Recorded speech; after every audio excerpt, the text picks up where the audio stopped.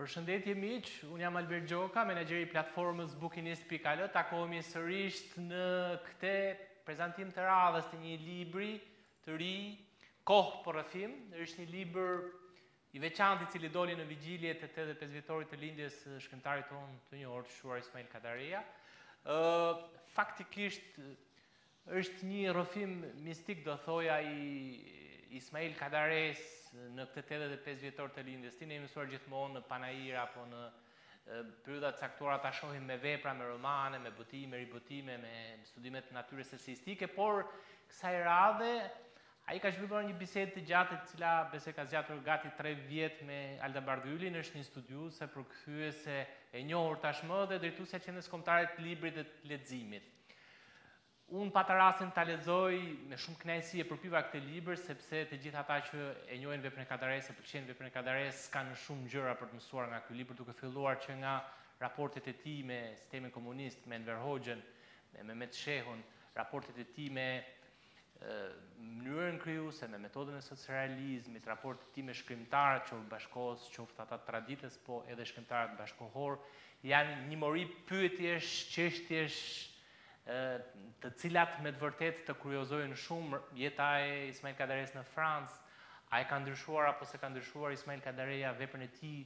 pas viteve nëntëdhjetë e ka modifikuar, janë shumë prej pyetjeve të cilat ne do t'i diskutojmë me Alda Bardhylin, po përpara se ta ftoj Aldën në këtë bisedë me ju miq që po na ndiqni tek platforma jonë e bukinistit në Facebook, unë do doja t'ju thoja se për pak orë deri në fund të kësaj mbrëmje, libri Kohë për rrëfim do të jetë në ofertë Minus njëzet për qind. Njëherësh, unë do doja që të gjithë ju që keni pyetje, komente, sugjerime, t'i ndani me mua dhe me Aldën, teksa ne do flasim për këtë libër. Alda, të përshëndes! Përshëndetje, Berti! Të përgëzoj pa masë për këtë iniciativë me shumë vlerë. Faleminderit. Sigurisht pyetja e parë që do bëhet është duke njohur natyrën e shkrimtarit i cili e pëlqen vetminë, po edhe të gjithë ata që e njohin Kadaren si tip sa e vështirë ka qenë për ty që të zhvillosh gjithë këto biseda, besoj që nga viti 2017 deri deri në vitin 2020, apo jo? Po, janë gati, janë gati tre vite, tre vite takimesh, të cilat janë ndarë në kohë, po, gjatë kohës që Kadare ishte në Tiranë, pjesa më e madhe e këtyre takimeve është bërë gjatë kohës së verës, kur ai vinte dhe jetonte në Tiranë, pasi ne e dimë që shkrimtari e ndan jetën midis Tiranës edhe, edhe Parisit. Ndonjëherë sigurisht që këto janë biseda jo të lehta, por ai besimi që ndonjëherë është shumë i vështirë për t'u krijuar tek dy njerëz, në rastin tonë u krijua dhe kjo e bëri që biseda dhe komunikimi të ishte më i lehtë. Sigurisht që ka qenë një eksperiencë e jashtëzakonshme nga ana profesionale të të shi, të shihja nga nga afër perceptimin për jetën, ë uh, uh, historinë, identitetin, kulturën, letërsinë e një prej klasikëve më të mëdhenj të botës sot. Besoj se jeni e kënaqur ju vetë me gjithë atë produkt që tashmë ka marrë formë në librin Kohë për rrëfim?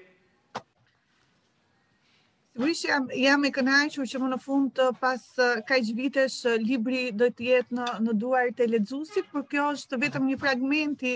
i një morie bisedash që auto, që unë kam realizuar me autorin, por mendoj që është është shumë domethënëse dhe erdhi si një dhuratë e bukur, si një komunikim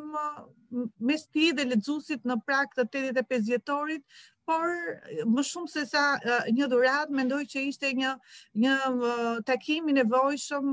që shkrimtari bën me me një lexues të shqetësuar le të themi të shekullit 21 për shkak të për shkak të situatës në të cilën jetojmë. Faktikisht Kadareja ka edhe librin Dialog me Alen Bosken në një formë bashkëbisedimi, por ka qenë shumë i pranishëm edhe në shumë intervista të tjera të cilat janë sjellë përmes shtypit. Çfarë e bën të veçantë këtë rrëfim të Kadaresë krahasuar me rrëfimin që ai ka dhënë më përpara në në që të cilat kanë ardhur në trajtë librash, pse jo? rrëfim ka mbart vlerën e vet dhe sigurisht që dhe rrëfimet e tjera që Kadare ka bërë me personalitete të njohur të kulturës botërore siç është Alain Bosquet, poeti i njohur francez, është një është një dialog i rëndësishëm Por ky dialog merr një tjetër vlerë ndoshta për kohën në të cilën është realizuar. Pikërisht shkrimtari e ka realizuar ky ky diskutim apo ky ky lloj bashkëbisedimi është realizuar pas kur ai kishte mbushur 80 vjeç, kur pikëpamja e tij për jetën uh, vjen në një tjetër formë dhe në të gjitha në të, në të gjitha temat që ne prekim në libër, shohim një Kadare ndryshe, një Kadare të të më të sinqert, dhe kjo ndoshta është nga vlerat e çmuara të këtij libri. Faktikisht duke e lexuar librin, aty kuptoj që Kadare është kthyer shumë dashurisë, dashurive, marrëdhënieve të tij me vajza që nga periudha e gjimnazit në universitet në në Rusi, marrëdhëniet e tij po një herë është edhe një histori që rrëfehet edhe për herë të parë marrëdhënia me një vajzë të një ish zyrtari të regjimit komunist. Unë e kam parë dhe tek kohë e pamjaftueshme, bashkëshortja e tij Elena Kadare deri diku e ka cekur edhe këtë gjë. Mendon edhe në këtë pikë, po edhe në pika të tjera që Kadare me të vërtetë është treguar i sinqertë? që vërtet nuk dyshoj në si, nuk kam dyshuar në asnjë moment gjatë për sinqeritetin e këtyre rrëfimeve. Sinqeriteti është diçka që ti e ndjen, kështu që unë e kam ndjerë këtë sinqeritet gjatë këtij bashkëbisedimi. Është e vërtetë që ndoshta pjesa më e madhe e këtij libri përpiqet të, të qëmtojë atë anën sentimentale dhe tepër të rëndësishme të një autori. Shpesh autorët jeta e tyre është mbuluar me mjegull dhe gjithmonë lexuesit kërkojnë të dinë diçka më tepër mbi jetën e tyre, mbi atë mister që është shumë e natyrshme për t'i për t'i rrethuar. Kështu që në mënyrë të natyrshme dhe unë kam dashur të zbuloj pak më tepër, jo vetëm mbi per, perceptimin e tij për dashurinë, por dhe për dashuritë që kanë shënjuar jetën e tij. Është vërtet në këtë libër Kadare flet për dy dashuri të rëndësishme në një farë mënyre, pasi pjesa siç është historia e dashurisë që ai pati me një studente,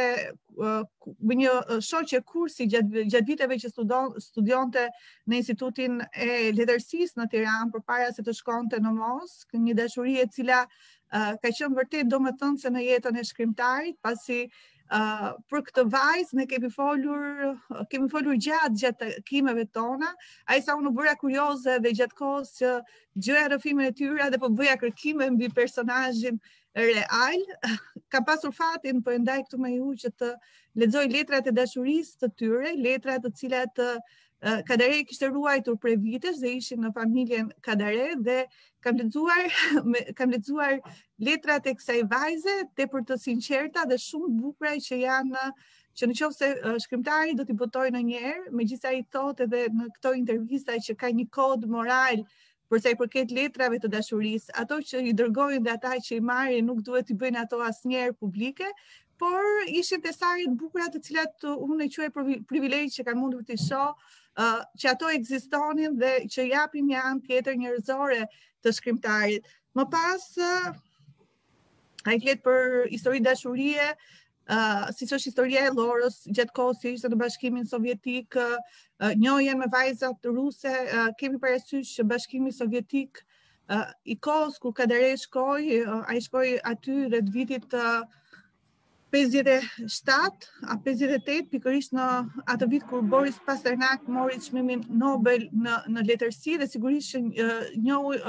Komunizmi rus ishte krejt i ndryshëm nga komunizmi shqiptar, kishte një jetë më liberale, më vanitoze, kështu që dhe njohja me vajzat ruse ishte një eksperiencë uh, tepër e bukur në jetën e tij. Më pas uh, këtë uh, histori tjetër të dashurisë që ai e përshkruan në libër dhe që është ndoshta pjesa më delikate, por që ai dëshironte ta dëshironte ta bënte publike, edhe pse unë vetë isha e stepur në në duhej shkruar apo jo,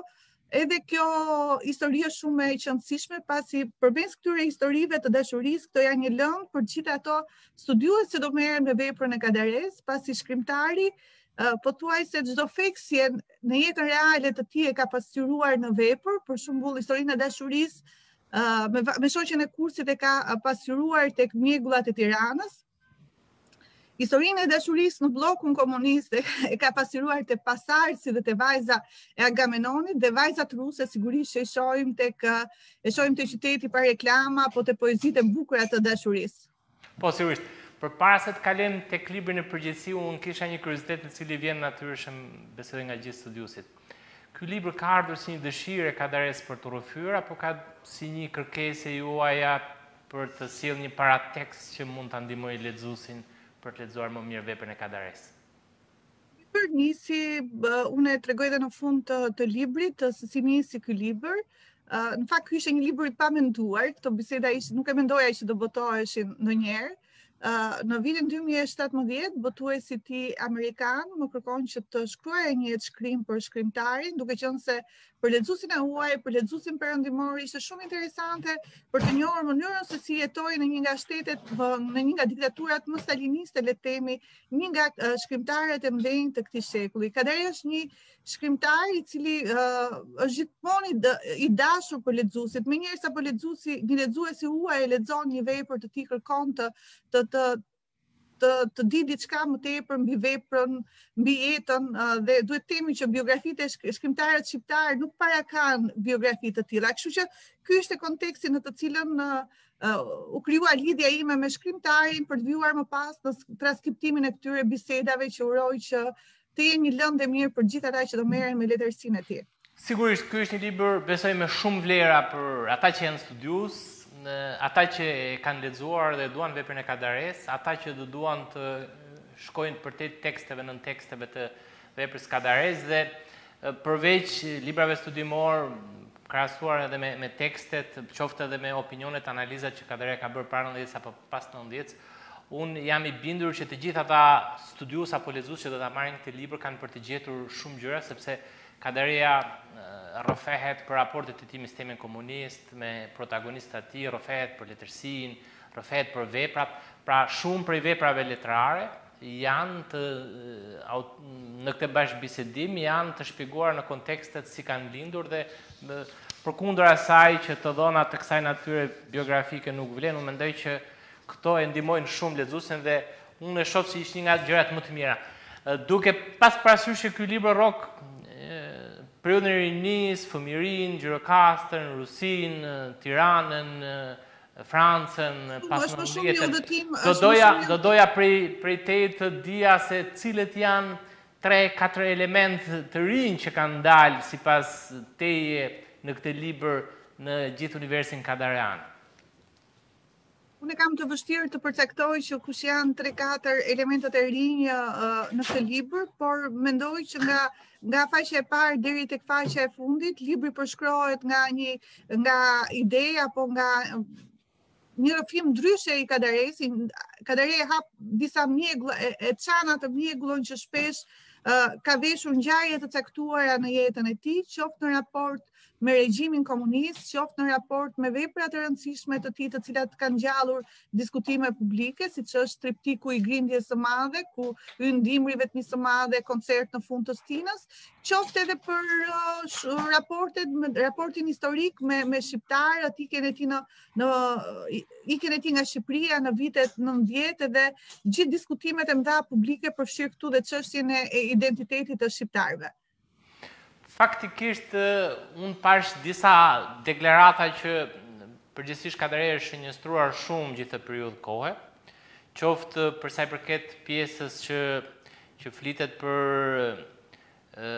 rishikimin e e veprave pas 90-s, ka qenë një debat që është bërë përgjithësisht nga ata që duan të jenë skrupulozë të tekstit apo kanë një lloj manie për t'i krahasuar tekstet para nëntëdhjetës dhe pas nëntëdhjetës dhe unë vetëm thjesht dua që të ndaloj në një thënie që thotë vetë Kadareja në intervistë, në bisedën, po e them thotë me një përgjegjësi të lartë morale që nuk ka asnjë vepër të ndryshuar apo të përshtatur me një kohë apo për të mos e përshtatur. Për një kohë tjetër. E gjitha kjo është vetëm një dashakësi meskine, thotë Kadareja në këtë bashkëbisedim, për të cilin nuk ia vlen të flitet. Të gjitha veprat që kam botuar janë në treg, janë në botim e vazhdojnë të shiten dhe nuk ka ndodhur që e bardha të jetë e zezë dhe e zeza të jetë e bardhë. Besoj kjo është një prej pikave kritike që mua më ngeli në mendje sepse edhe me studiuesen Viola Isufaj e e bëra këtë pyetje nëse ka patur ndonjë Ndonjë, po them një rishikim të tekstit në një nivel që e ndryshon tekstin nga teksti i mëparshëm. Po, po ashtu unë do doja që më kanë bërë shumë përshtypje edhe reflektimet, vëzhgimet që ju keni bërë në kontekstin e edhe gjithë bisedave që keni zhvillu kohë pas kohe, qoftë përsa i përket jetës së tij në Qerret, kontekstit që keni zhvilluar bisedat e gjithë me radhë. Sigurisht edhe duke qenë një njohëse shumë e mirë e Kadaresë, sa mendoni që gjithë këto rrëfime të Kadaresë do ta ndihmojnë lexuesin për një receptim më të mirë, më të qartë, sipas këndvështrimit tuaj? Çdo rrëfim hap një dritë, hap një dritë për studiuesit e veprës së një shkrimtari dhe mendoj që në këtë libër janë shumë dritëza të cilat do t'i shërbejnë studimeve shqipe të cilat më vonë, ndoshta do të thellohen më shumë në veprat e autorit. Le të mos harrojmë që pjesa më e madhe e diskutimeve sa herë që bë, sa herë që flitet për figurën e Kadaresë, nuk ka të bëjë shumë me veprat, por ka të bëjë me raportin e tij me regjimin. Mendoj që në kohë kur në kohën kur në një kohë kur ky diskutim kaq thelbësor për shoqërinë shqiptare sot, siç është raporti me regjimin edhe ë Lidhja që ka pasur roli i artistëve dhe shkrimtarëve gjatë diktaturës komuniste sigurisht me kohë do të zbehet dhe vetë atmosfera letrare do të do të do të fokusohet tek ngjarje tek tek detyra e saj primare që është raporti me tekstin dhe mendoj që për një studiues ndoshta të të një shekulli më vonë ose le të shpresojmë të të një dekade më vonë ky libër do të jetë një një manual i mirë dhe një manual i mirë që jo vetëm unë e kam bërë, por shkrimtari e ka bërë për ta. Domethënë është një lloj rrëfimi për t'u futur në tekst. është shumë e rëndësishme ndonjëherë edhe Kadare ka hapur, le të themi, ka hapur pikërisht uh, aortat e, e e hapësirës e hapësirës së një teksti duke duke dashur të shtjellojë ato pika që ai mendon që vërtet do të jo vetëm do të hapin diskutime por dhe ai ka ndjerë si tepër të rëndësishme për t'i për t'i ndarë me lexuesin faktikisht unë kisha një lloj kurioziteti sidomos në raportin e shkrimtarit me sistemin është një raport i pazakontë ai vetë e pohon edhe në libër që thotë nuk jam një shkrimtar disident kur flet për raportet e tij me me sistemin komunist, është një marrëdhënie e pazakontë nëse do ta krahasojmë edhe me edhe me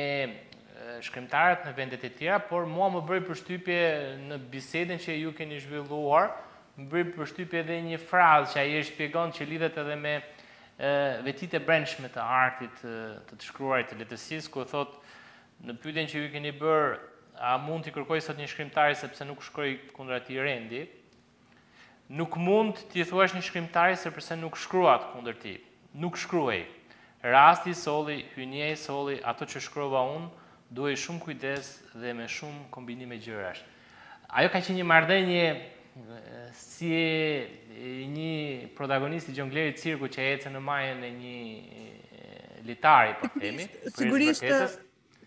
Berti, unë kam kuptuar që konteksti është gjithçka për të kuptuar veprën e Kadaresë, pasi përvoja shqiptare ndryshon thellë nga ajo e diktaturave të tjera socialiste të, të Europës lindore dhe Shqipëria mbeti staliniste deri në vdekjen e Enver Hoxhës në vitin 85 dhe vep, një vend i izoluar gati plotësisht nga Europa dhe Perëndimi, biles edhe nga bota deri pas viteve 78 arriti të uh, arriti të krijonte një shkrimtar të të përmasave të të Kadaresë me me veprën e tij. Por ajo që është të thelbësore në gjithë këto biseda dhe që uh, ai e shpjegon në mënyrë ai e shpjegon në mënyrë Në pikat ku shpjegimi i tij është tepër i ndjeshëm është raporti i tij me letërsinë, sa i qenësishëm ishte ky raport për të për të ngritur ato muret e larta dhe për t'i shpëtuar ndoshta dhe këtij terrori në thonjëza, pavarësisht se sa sa ishte sa sa i, i rëndë ishte ky terror. Kështu që në raportin me letërsinë, këtë raport shumë të qenësishëm shkrimtari e, e përshkruan në këtë libër ndoshta në narrativën më të bukur që ai e ka dhënë ndonjëherë. Po, ka, me aq sa shof, unë nuk është thjesht një bashkëbisedim mes dy personave që flasin për letërsinë, po ka edhe reflektime të thella që vijnë, reflektime të thella që vijnë mbi të shkruarit në sistemin komunist, mbi raportet e tij me letërsinë, mbi raportet globale. E vërtetë është që ka shumë reflektime të thella që vijnë nga Kadareja. Në gjithë bisedën që bëhet, ka dhe një, ka dhe një qasje që unë besoj, ndoshta do të bëj edhe një koment të shkurtër që besoj që vepra e Kadaresë, nëse do ta studiojmë me atë që quhet një lloj morfologjie e socializmit, nuk është është shkruar sipas pjesa dërmuese ndoshta dasma te këtu mund të plotësojë por nuk është shkruar sipas metodës së realizmit socialist e cila ishte metodë rigjide shumë strikte që ndiqej nga kritika nga lexuesit nga hallkat e tjera që nga botimi që nga strukturat partiake e kështu me radhë por ë ju vetë si në këndvështrimin e një studiuese Si e shikoni të gjithë veprën e Kadares në raport me metodën e socrealizmit? që Kadare nuk iu përshtat asnjëherë metodës së socrealizmit, ai e shpjegon edhe në libër që konflikti i tij i parë dhe ajo çfarë e bënte atë që të pashpresë në Shqipërinë komuniste kur u kthye nga Moska ishte pikërisht përballja me këtë metodë. Dhe mos harrojmë që romani i tij Përbindëshi pas gjeneralit apo dasma ishin romane që nisi të shkruante qytetin pa reklama, të cilin e publikoi shumë vonë, ishin romane që tregonin atë konfliktin e tij të brendshëm me metodën. Kështu që uh, Dimri i vetmisë së madhe një roman që do të vinte më pas në vitin 70 në 73 ishte pikërisht uh, shpëtimi i tij në një farë mënyre. Ai e tregon në libër që tregon shumë mirë që marrja me një temë që kishte në fokus komunizmin, kishte kishte të bënte me një lloj uh, shpëtimi që ai duhet t'i jepte letërsisë. Ishte uh, duhet të shpëtonte të shkruante të shkruante letërsi. Kështu që uh, po përtej këtyre këtij gjykimi që ndoshta nuk është shumë i plotë dhe Unë do të thoja që mjafton të lexojmë në tërësi korpusin e veprave të Kadares sot në një shoqëri të çliruar, ë vepra që sot botohen në gati 40 gjuhë të botës, vepra që janë botuar në vitet 70, të, të cilat nominohen dhe janë për çmime të ndryshme ndërkombëtare, për të kuptuar që raporti i tij me me me kostumin zyrtar pothuajse nuk ka ekzistuar dhe stili i Kadaresë ishte një stil krejt ndryshe nga stili i metodës socialiste dhe këtë e tregon bashkëkohësia që këto vepra kanë sot.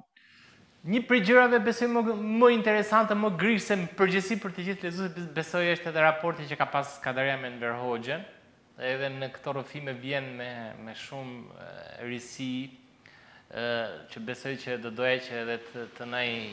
i ndash me ne, është një raport, do thoja i pazakontë, pra, siç ishte me sistemin dhe me Enver Hoxhën, vinin nga i njëjti qytet, e njihnin shumë mirë njëri tjetrin. Ishin komshi, ishin komshi në Gjirokastër, po t'i shohësh dy shpitë e tyre, shpinë e shkrimtarit dhe shpinë e diktatorit, i ndan vetëm sokaku i të marrëve, familja, Kadare i quan në këtë libër familja e Hoxhatëve, për një, ka një lloj përçmimi për... ka një lloj përçmimi për për për hoxhatët, por në këtë kontekst mendoj që uh, ai vjen në një analizë shumë antropologjike mbi atë çfarë Enver Hoxha uh, pushteti komunist ishte për për Shqipërinë dhe çfarë i solli ky izolim i gjatë shqiptarëve në shumë aspekte, jo vetëm në aspektin historik, por dhe në aspektin kulturor, sociologjik apo të identitetit. Kështu që në këtë kontekst ai nuk e shikon raportin e tij me Enver Hoxhën vetëm vetëm në raportin mes shkrimtarit dhe diktatorit, por një raport mes diktatorit edhe edhe vendit, një diktatorit edhe gjuhës, Dhe kjo është më më e qenësishme. Sigurisht që aty në libër tregohen edhe përplasjet e tij, ë uh, raporti i tij ndoshta më me me Hoxhën duke nisur që nga telefonata që Hoxha i bëri për herë të parë kur ai u kthye nga Bashkimi Sovjetik në lidhjen e shkrimtarëve dhe artistëve për të vijuar më pas tek takimi me të kur shkroi dimrin e vetmisë së madhe presionin e madh pas pashallarëve të kuq, por një, mendoj që jo vetëm vetëm pashallarët e kuq, mendoj që Kadare është shumë interesante, un kam parë këto kohë një mori dokumentesh të cilat tregojnë që çdo vepër e Kadares është e shoqëruar me diskutime, me kritika në lidhjen e shkrimtarëve. Domethënë nuk mund ta quash Kadaren sot, nuk mund ta quajmë dot një shkrimtar të qetë, Dhe nuk mund ta quajmë uh, akuzat që atij i bëjnë shpesh është që është një shkrimtar oborri, zakonisht shkrimtarët e oborrit janë shkrimtarë me një jetë të qetë dhe nëse ne reflektojmë dhe shohim jetën e Kadares në vite, uh, ajo nuk është aspak e qetë, por është një jetë e cila shpeshherë është gjithmonë në syrin e pushtetit, është gjithmonë në i shqetësuar, shkrimtari duhet të jetë i shqetësuar, por në këtë rast është një lloj tjetër shqetësimi. Faktikisht, ka shumë tema që unë do i ftoja lexuesit për ta bërë pjesë të leximit të librit Koha për rrëfim, po në fund, në pjesën e librit ju thoni që keni bërë disa regjistrime, gjithë bisedat janë regjistruar. Ka ngelur sipas teje ndonjë gjë thelbësore që ju tashmë e keni të deklaruar, të rrëfyer nga Kadareja që nuk e keni përfshirë në këtë libër? Ka ka shumë pasazhe të cilat nuk janë përfshirë në libër, ndoshta edhe për shkak të kohës, detyra ime e re kërkon më shumë më shumë impenjim dhe dhe gjithmonë ishte një libër që e shtyja në kohë, sepse mendoja që gjithmonë do kisha kohë, por uh, koha në të cilën jetojmë shumë ngjarje të, të cilat kanë ndodhur me kulturën, me globalizmin, e bënin të nevojshëm këtë lloj komunikimi të shkrimtarit me lexuesin dhe kjo ishte ndonjë uh, arsyeja që pse erdhi ky libër, por në këtë libër sigurisht që nuk janë dhënë shumë pikëpamje të tij për vepra të rëndësishme, pasi ë uh, nuk do ishte pa me nuk, do, do do kërkonte tjetër vëmendje uh, korpusi i veprave të tij kërkon një tjetër një tjetër vëmendje dhe sigurisht janë shumë biseda për vepra të pothuajse për gjithë korpusin e veprave të tij që shpresoj që në një kohë tjetër do të do të vijnë për lexuesin Faktikisht në fund të librit ju sërish jep një detaj tjetër interesant që po përgatisni një, një biografi të cilën do ia adresoni lexuesit të huaj në anglisht. A mund të kemi një informacion më shumë cilat janë planet tuaja, kur e ke planifikuar për ta nxjerrë? Çfarë po bën konkretisht? është pothuajse një biografi e, e përfunduar, por duke qenë se uh, ajo është shkruar për një lexues tjetër, sigurisht unë shpresoj dhe uroj që ajo të do botohet edhe në gjuhën shqipe, por duke qenë se është shkruar për një lexues tjetër që nuk e njeh kontekstin historik, nuk e njeh histori, nuk nuk e njeh shumë personazhe të rëndësishëm të historisë të Shqipërisë, ë uh, ka një tjetër uh, qasje, kështu që uh, shpresoj që shumë shpejt të jetë të, të, të, të botohet edhe të jetë në duart e, e lexuesit botëror. Okej, okay, përpara se të kalojmë tek pyetja që lidhet edhe me qendrën kombëtare të librit, unë do doja, unë do doja që të ftoja të gjithë lexuesit ta porosisin tek platforma Bukinist, pika al librin Kohë për rrëfim, bashkëbisedimin e gjatë të shkrimtarit tonë të shquar Ismail Kadare me studiusen përkthyesën Alda Bardhyli. Libri sot për ata që duan e kanë në ofertë minus 20%, kështu që besoj me një klik libri vjen tek lexuesi. Alda, të gjithë botuesit, librarët, lexuesit presin të dëgjojnë diçka më shumë për për këtë vit për librin, për qendrën kombëtare të librit të leximit. Me siguri vazhdon dhe ky vit të jetë shumë i vështirë për industrinë e librit siç ishte edhe vitin e kaluar, për botuesit po ashtu. Çfarë të rejash kemi këtë vit, si ka nisur? Puna ka nisur në Qendrën Kombëtare të Librit dhe Leximit për të gjitha këto që ju ju sapo përmendët për të sigurisht që libri pandemia ka ndikuar në në një mënyrë ose në një tjetër në tregun e librit. Jemi duke punuar për t'i dhënë jetë shumë projekteve dhe shumë planeve të cilat të cilat të, të cilat ne kemi parashikuar për vitin 2021, të cilat do të bëjmë publike shumë shpejt. Ah, ok, mirë, unë të falenderoj shumë, sigurisht ne jemi shumë të interesuar, është kritike do thoja që të gjithë bashkarisht bëjmë më shumë për letërsinë shqipe, për autorët shqiptarë. Në si fokusin tonë... Ne si platformë jemi të shënjestruar gjithmonë të kritikuar përgjithësisht edhe nga autorët, po dhe nga ata lexues që duan letërsinë shqipe që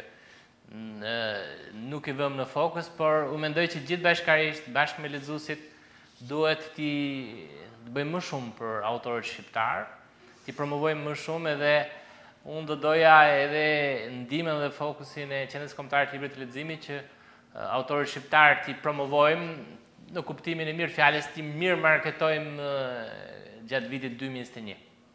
Ne e kemi treguar edhe me punën tonë Berti gjatë vitit 2020 që autorët shqiptarë, gjuha shqipe janë në fokus të prioriteteve tona. Ky do të jetë një prioritet i përhershëm i Qendrës Kombëtare të Librit dhe Leximit. Ë uh, pothuajse pjesa më e madhe e projekteve tona dominohen dhe orientohen drejt autorit shqiptar, por përtej projekteve tona, një pjesë e rëndësishme e punës ose e strategjisë ku neve po mbështetemi janë kooperimet ndërkombëtare, pasi është shumë e rëndësishme që përmes këtyre kooperimeve dhe këtyre mundësive t'u japim më shumë zë librit edhe autorit shqiptar në arenën ndërkombëtare, pasi sot dominimi bëhet përmes kulturave dhe është shumë e rëndësishme që të jemi më të pranishëm në në kultura të tjera. Alda unë të përgëzoj pa masë edhe për punën e shkëlqyer që ke bërë për gjithë këto xhevahire sekrete që ke marrë në moshën mistike të Kadaresë dhe i ke sjellë në librin Kohë për rrëfim i botuar nga Shpia Botuese Onufri. Ë të uroj suksese edhe të uroj suksese edhe si drejtuese e Qendrës Kombëtare të Librit dhe të Leximit. Ë sigurisht libri shqip dhe në përgjithësi industria e librit në këto kohë të vështira ka ka nevojë për mbështetjen e të gjithëve, por Përgjithësisht unë jam besimplotë që lexuesi është ai që i jep mundësi më shumë librit se çdokush tjetër. Lexuesi është një